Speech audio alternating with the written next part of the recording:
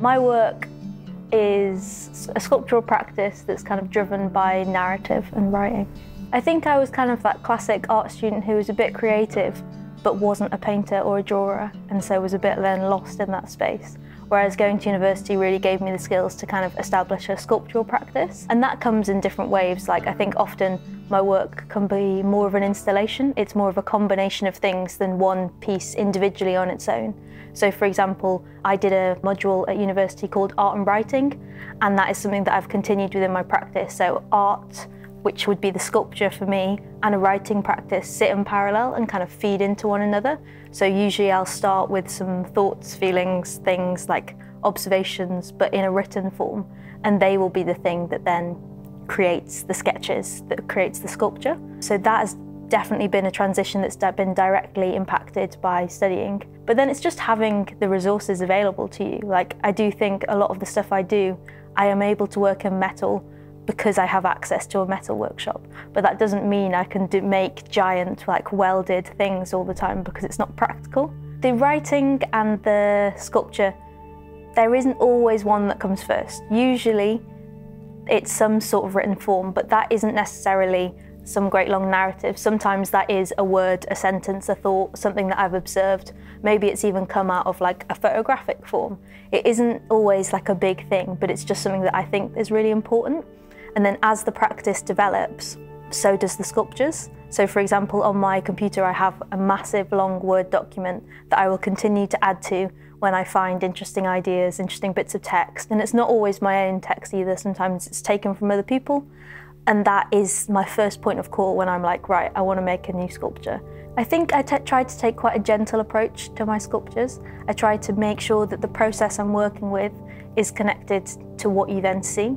Recently, I've been thinking a lot about active transfer, and that's something I've been thinking about in my writing, but it's also something that then has come across in the practice. So working with casting, for example, I will cast with metal, often with pewter, um, and in the past I might have worked with sand and clay to create those molds. But recently I've been trying to think, okay, well, how can I savour that mould as a piece that's just as important as then the taken metal cast? And how can I put those together? So I've been working with wood um, to make moulds and kind of focusing on giving that side of things a bit of attention to.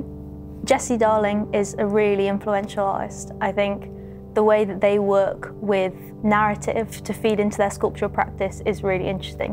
I think often their work can be slightly more figurative than mine, but they're a massive influence. They also write alongside their practice, and I think is something that a lot of artists do, but it becomes almost a hidden part of their practice. You know, it's, it's hard sometimes to navigate that world of how does text sit with sculptural or installation based art practice? Is it just a formal text on an exhibition wall or is it something different?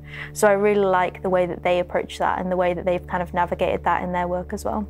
Katrina Palmer is someone whose practice is also very heavily um, text based um, and sometimes that's also a confusing space. I first discovered them through their writing and through a book, which is a series of short um, fictions, I guess, called Fabricator's Tale.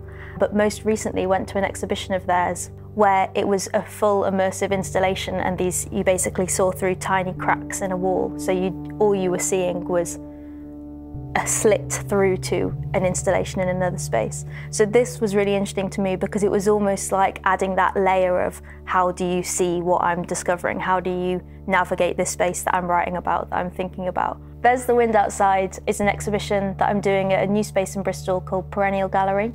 It's a space that two artists are setting up as a very much DIY exhibition space. The show itself has a body of writing that goes with it, titled There's the Wind Outside, and all the sculptural pieces in the show are wall-based sculptures in metal, steel, aluminium, pewter, and wood. The sculptures are all referenced somehow within the text, but they can be read together or separately. There isn't kind of a prescription for how that works. I was trying to think about how do we see the wind? It was as simple as that. I was thinking, actually the way in which we see this thing is always through an act of transfer it takes from something else. It's always reliant on a different object. So what I wanted to do was investigate that space. I wanted to pay attention to these kind of light and subtle moments. And actually I kind of approached the wind very softly. I didn't really dive into those kind of the harsher landscapes that the wind can create. But for me, this exhibition was just exploring that space. It was exploring this individual thing and then the different stories that came out of that.